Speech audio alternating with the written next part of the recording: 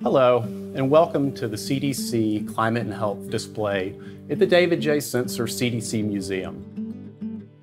Since 2009, CDC has worked with communities to prepare them for the health impacts of climate change. So you may ask, how is CDC working with our communities to address the health impacts of climate change? The main way they do this is through BRACE. That stands for Building Resilience Against Climate Effects. We first forecast climate impacts and who's vulnerable to these impacts. Then we project what the disease burden may be. We assess possible interventions. We create and implement a climate and health adaptation plan. And finally, we evaluate what impact we have had and improve the quality of our activities going forward.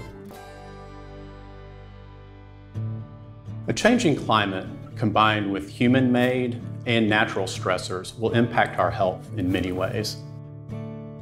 Three we're going to focus on today are wildfires, flooding, and extreme heat. Wildfires can have a huge impact on human health, and they are increasing. During 1972 to 2018, California experienced a five-fold increase in burned area annually. This includes the 2018 Camp Fire in Paradise, California. This fire destroyed 14,000 residences and killed at least 86 people. While the 2018 Camp Fire was particularly dangerous, wildfires continue to impact California and other states each year.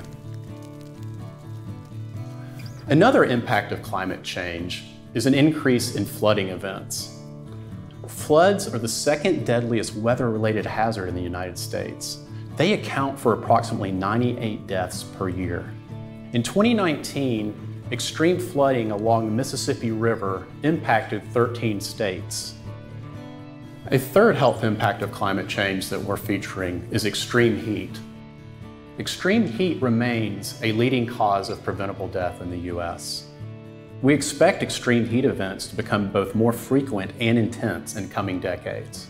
Many places in the United States will experience extreme heat, including places such as Boston, New York, in Phoenix. As you can see, the impacts of climate change, including wildfires, flooding, and extreme heat events, has a huge effect on human health. If you would like to learn more about how climate change affects our health, go to cdc.gov forward slash climate and health.